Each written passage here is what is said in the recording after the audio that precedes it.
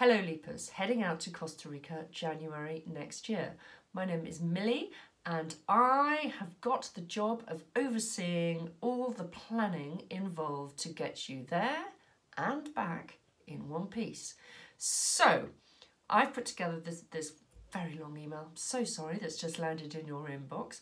But at the same time, as I've been putting it together, I'm thinking of all the questions that you might be you might be posing around your kitchen table. So to nail it, to answer those questions, I'm going to I've created this little video, creating this little video to rattle through trying to preempt what you're thinking, the type of decisions you might be making, to just explain the reasoning of and what, what how, how to approach it.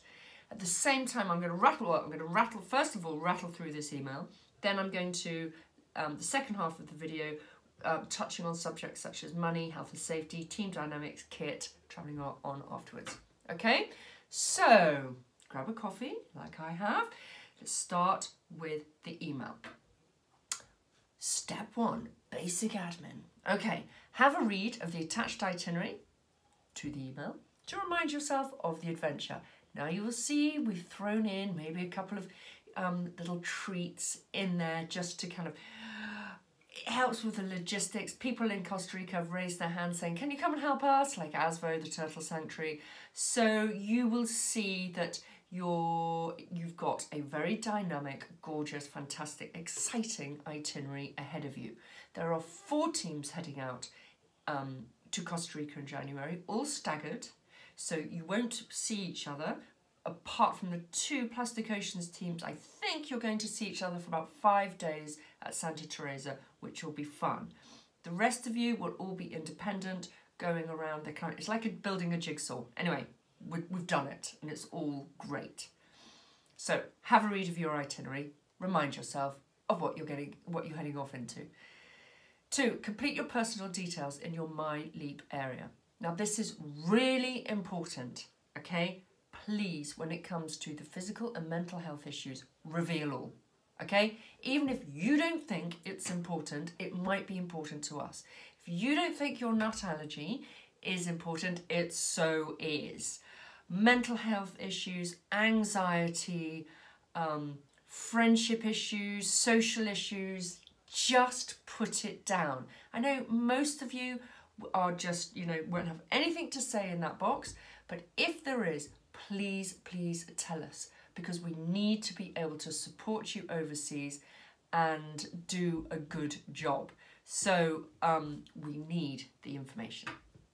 Complete the reference, contact details. That's quite important. Don't go putting a friend. Could you put, put somebody who has a, a, someone from school that would be really, really helpful. Injections. Okay, have a look in MyLeap. Now, clearly, I'm not a doctor, but a lot of people ring up saying, what about the rabies? All I can say is in 30 years of doing overseas expeditions and adventures, we've never had a rabies um, incident. Um, and the other question, the other thing that's important to know is when you're on a LEAP program, you are always about two hours away from a hospital. So should the worst case happen and a rabid animal came running out of the woods, then um, you are close to a hospital. But travelling on independently. Now, I don't know how adventurous you are. If you are thinking of going up to the Belize jungle and going, you know, you know, going to spend weeks, you know, down in the jungle, then maybe you do need it. So please think LEAP program and what you're going to do afterwards. COVID injections, okay, your COVID vax. It is imperative that you are fully vaxxed to join this program, okay? And it's not because of us, it's because Costa Rica have now laid down this law that as of the beginning of January, you have to be fully vaxxed to enter anywhere other than a supermarket. So it needs to be done. For those of you out of personal choice, there's nothing I can do. It has to be done. If you don't want to do it, then talk to us. I know the girls have, already, all, have already emailed you about this. If you don't want to do it through personal choice, then we're going to have to move you to somewhere like Kenya. If it's on medical grounds, again, I tend to, I am worried because it's a new law being introduced in January. There will be a lot of confusion overseas about you know really. So uh, it's just best to not take the risk. Okay. Kit list in MyLeap. Everything in there is there for a reason.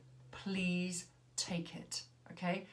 And you know when people can think they need a pair. It says a pair of trainers don't take trendy, gorgeous, brand, box fresh white trainers. They're going to get trashed. And when you're walking in the jungle and you're looking at your trainers, um, could you take something which has got a little bit of grip? You know, it is slippery, slippery surfaces in there, and um, a bit of grip is really important. Okay, but things like the head torch, the day backpack, the water bottle. You'd be amazed how many people forget a water bottle. Um, a day rucksack really, really important. So look at that kit list and take everything you need.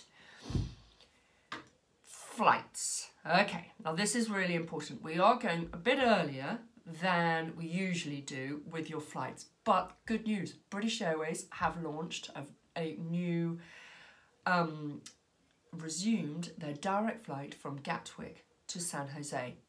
We can't miss out and it's at a really good price. Annoyingly, they only fly on a Tuesday, Thursday, and Sunday, not a Friday. So, what we're doing, the adventure lot, we want you to go on the Thursday flight. The Plastic Oceans lot, you're going on the Sunday. Okay? So, look at these flights, get them booked quickly before the prices go up. Now, some of you might be at home thinking, I'm sitting on lots of British Airways credits and, you know, you've got you know, platinum gold cards everywhere. Yes, you can use those if you book it direct through the BA website, but please bear in mind that we really want it to be an open return. It's valid for 12 months and you can reroute and redate that return part of the ticket. That is key. I'll explain why in a minute. If you go direct to the BA flight, remember you're not going to speak to a human being. We personally, if you can bear it, recommend you go through Trailfinders. They have been dealing with all our flights for the last year, and my goodness, have we we worked tirelessly with them. They are awesome, and if the date needs changing, if the, the route needs changing, they are on it. And you speak to a human being, which in today's world, that is worth so much. So the corporate team are ready to get this book for you and ready to help you navigate the ever-changing worlds of flights, which let me tell you, we will book this flight at the price that we've recommended, you know, that it's roughly, when I look got the prices on Friday, those were the prices. Come Monday, Tuesday next week, it could go up or down, you know, by 20, 20 quid, you know, that type of thing. Um, now, a lot of you have asked me this question, but I don't know if I want to come home you know, I might go travelling on afterwards. Okay, that is absolutely fine. And this is how you're going to approach that um, scenario. The golden rule right now to enter any country is you have to arrive with proof of leaving that country by air. Not by bus, not by lorry, not by anything, but by train. By air, okay? To enter and leave any countries, it is highly recommended to do it by, and actually imperative to do it by an international airport. Therefore, if you buy this British Airways ticket in and out, okay, in line with your program, simple, you get into Costa Rica. When you're in Costa Rica and you've made all your new friends, then you will decide, okay, we want to go traveling on. We want to go up to Guatemala, Mexico, or maybe south, Colombia, Peru, Ecuador. Very easy to do and you will be nagged by me in the second to last week of your program to tell us what your plans are. So, so that the admin team, that's being me, backed up with all your parents back at home, can deal with the logistics, which will involve if, for example, you want to go from Costa Rica with your new friends to Guatemala and Mexico, then that British Airways return flight will be rerouted and rerouted and redated out of Mexico home. You will then buy, while you're in Costa Rica, an internal flight from Costa Rica to Guatemala, Guatemala to Mexico. And those internal flights via Volaris are about, I, I would say about that, kind of $100, $150 each. But you will do that when you're out there, when you've made your new friends, when you've made a plan. But right now, all we need is to focus on is getting you into Costa Rica. And this is the cheapest, best way logistically to do it. And trust me, we've been doing it all year and it works. Okay? So, everyone happy with that? That that that kind of throws over because I know none of you want to come home straight after this program, and I don't blame you. Why would you want to come back to England? Um, or go home Europe and America when it's freezing cold. Okay, so that's the flights.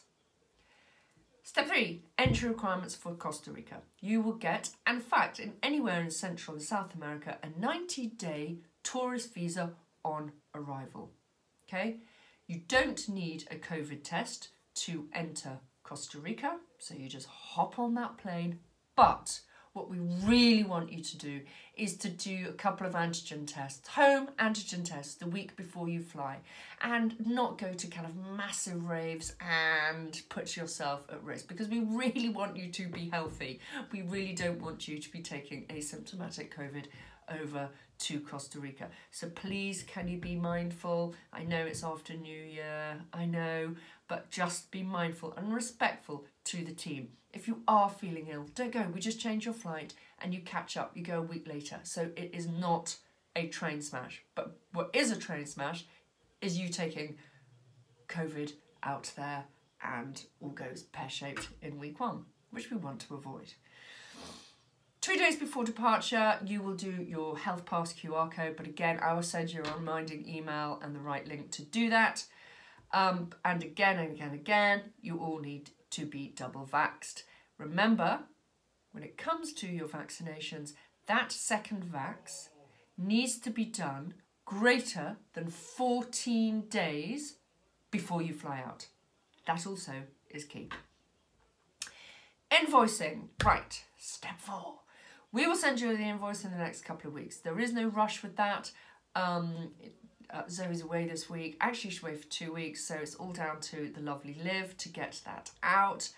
Um, remember, if you don't go for any COVID reasons and your insurance doesn't cover COVID cancellation, then we will refund you minus £150 deposit. But that also is transferable to any other LEAP program or LEAP VIP. Okay, please do not pay by the online Stripe facility in your MyLeap. Please don't do that. They charge us through the nose and it's just much easier to do it by BACS. Should you be refunded, it comes straight back by BACS and there are just no hidden charges. So please, please do that. Step five, insurance. Okay, listen up. This is really important, okay? Golden rule with insurance. If the Foreign Office says you, you know, we recommend that you don't go to this country, then that insurance policy is null and void. Okay, key, key, key. So you've got to keep an eye on that. But right now they have dropped all that. There are no red lists, so we are sitting in a position of, well, I'm sitting in a position kind of, kind of distrusting, slightly uneasy, thinking, is this real or is this not? But let's go with what we do know today. It isn't on the red list and the Foreign Office says we could go. Therefore, you can buy any insurance, but we are recommending this Campbell Irvine insurance because it's really good value and Guy has done his due diligence. We've used them before. If there was an accident, their repatriation facilities are really good. Um, and their their organisation for that is good. And sadly, we have tested that a few times in the past. And if that does happen, we definitely get involved with the repatriation of injured, sick um, uh, leaper, and it's really helpful that you use someone who's really good. Please don't go buy cheap insurance that comes from um, that whose oversee you know whose repatriation facilities are based in uh, New Zealand. Trust me, it's happened before. It was a disaster. Anyway, Campbell Irvine are really good. If, and you will see, hold on, if you purchase, you've got two types of purchase policies to do. So you could do I'm not going to go into the to, into into that level of detail because I'll get you all confused. But read it. What type of policy you want? Single trip or our annual multi trip? I think most of you want the single trip because it can be extended once you're overseas, and that gives you the full flexibility.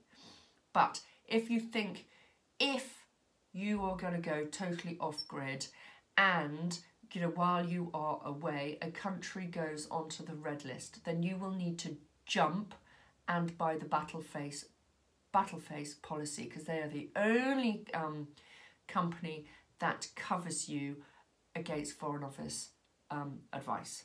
Okay, so that's really key to have in your mind. All the links are there for you, and if you use our links, then it goes onto our register, and then we can we we kind of can access things while you are away. For the US, we recommend you use iNext. They are really good and cover everything on our LEAP program and you know independent traveling. Please give them a call because what they like to do is add to your existing home medical cover. Most people buy the platinum policy, but we can't get to grips with the American. Um, every single one of you in America has a different type of uh, medical insurance. So it's best you talk to them direct to explain it. They're brilliant. Okay, so that is that admin to back up this email. While I've got you, okay, I'm just going to go through a couple of other things that people ask about.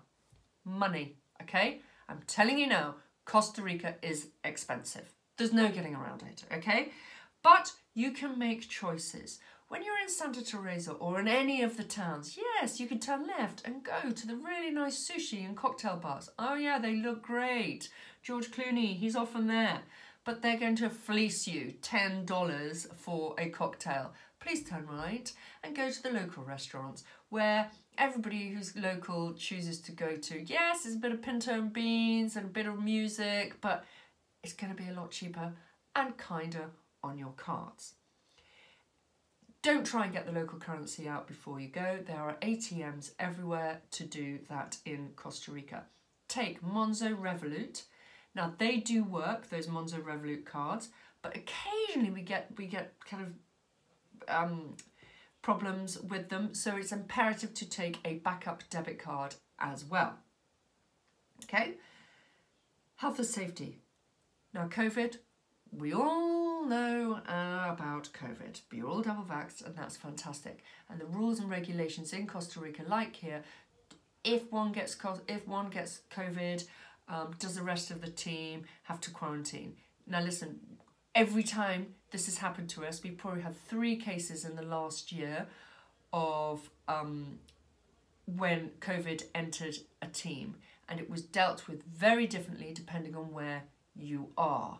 Okay, if you are based at Jacaré in the camp and one of you gets COVID, then that person is isolated until they're better, and the rest of the camp carry on because you're a tight bubble and you carry on doing all your project work but you don't really mix you don't mix with the communities you don't really mix you don't what am i saying don't really you don't mix outside your bubble but we try in every every way we can to keep the show on the road. Okay, so just we will, the decisions get made when we see where you are and what the dynamics at that time are. But to be honest, the bigger risks from a health and safety point of view to you lot is dehydration and the simple cut. Dehydration really, really, it funnily enough feels like um, COVID. Gets splitting headache, aching joints, aching bones, temperature, you feel terrible. Okay, and you can't believe that that is just due to dehydration. And it's not just a matter of drinking water, it's getting the salts and the sugars into your body. And this often happens to two or three leapers in the first week of every trip because it is hot, it is really sweaty, and to be honest, one isn't used to doing hard graft labour in the midday sun in that environment. So you've got to be very, very mindful. Cuts too, the simple cut in the heat and humidity is not going to heal like it does at home. It doesn't. And you've really got to keep an eye on it because what happens is it cuts, the infection goes down inside into your leg and it can be a disaster. So every cut I want you pounced on, covered up, Savlon, whatever it is, you, you've got to take a really good, you know, little medical kit with stuff for cuts, for dehydration, for a dodgy stomach, just um, you know some vitamins. If you're a rubbish eater and you're a, you're a, um, a picky eater, you're not going to really relish the the kind of the pintos and beans and you know the kind of and fish and all this. You know, just be mindful with how best you're going to look after yourself. Okay, enough of that. Team dynamics. Okay, oh, I know you're all getting tired. You probably can kind of switch off and then switch back on. But team dynamics. You are heading off with a team, either kind of 20, 24, depending on which group you're in, of people that you've invariably never met before, from all different walks of life, from all over England and beyond, okay? It's all part of the challenge. Now, a lot of you might have had friends that have done this before and they've just told you about the partying at Santa Teresa or, you know, the fun that they've had. Yes, you are going to have great fun, okay? But it is all about the team. You're going to learn to work with this team, look after each other, and um, read the room, basically. Read the room.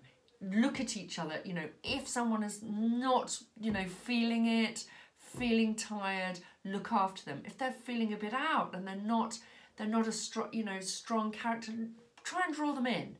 You know, this is really important, especially in week one. Week one is of the first, most challenging week for you all as you all integrate and find your place within the team. Um, so this is where huge sensitivity is required, okay? When it comes to rules, this is not a school trip okay? It is not, you're not going to be breathed down your neck by teachers saying you've got to be in at 10 o'clock, but you have got to be respectful. Yes, to the team and to the fact that we want you up in the morning to do the jobs, you know, to contribute and not be hungover, especially on the scuba lot. If you turn up hungover, you won't be able to scuba. It is that simple. If you turn up and you, well, if you don't turn up for the Spanish lessons because you can't be bothered. You know, it's just rude. It's just rude for those Spanish teachers that have come in. So it's really, you've got to, you've got to work hard and play within reason, okay? Weekends, great, but during the week, just be mindful of what the program is all about. It's about contributing, it's about the team, it's about having fun together. It's not about hardcore raving parties every every single night. So just, you know, listen and again, listen to local knowledge, especially when you're in Santa Teresa. You know, we don't want you going to these illegal raves which are uh, put on along the beach. Listen, listen, listen to what the leaders' advice is. They're giving it to you for a reason. Okay. I'm just looking at my list. Two minutes. Ah, I didn't really want to end on that note, giving you a pep talk about how to behave, because I know you're all gorgeous kids and you're all going to behave nicely. But I'm a mother of a teenage boy, exactly your age, and I know exactly how him and his friends would behave.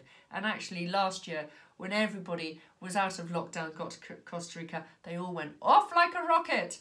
And um, they were quite hard to, to manage, so it's, it's getting much better now because you haven't you're not being released out of lockdown. Um, okay, so I think that is it for now. Um, clearly, one last thing, okay? If any of you are on the waiting list thinking, I've booked on for adventure, but actually I really want plastic oceans, then hold fire because live and just tell Liv and Zoe that you're doing that. So don't book your flights, okay? Just hold fire on the admin until you might move across to the right team the team you want to be on. Um, my final thing, Pharos. Okay, da, da, da. always forget about this. If you are going independently travelling afterwards, I strongly recommend that you join Pharos. Now you will find the details in the insurance section of your My Leap. They are brilliant. It's run by friends of ours. It is a 24-7 emergency rescue service. So it's having the equivalent, when you're on your program, you've got us, you know, and you've got the team leaders. But when you're traveling independently, yes, you could call us when you're in Guatemala because we've got contacts there or in Colombia, Peru. But if you're going to Mexico or Belize or Panama, I can't help you. I don't have any contacts there, but Pharos does. They are brilliant, 24 7, ex military. They are used to getting people out of trouble. They did it last year for us. They are awesome. So it's about parents, I would be just doing this if you can, just doing it.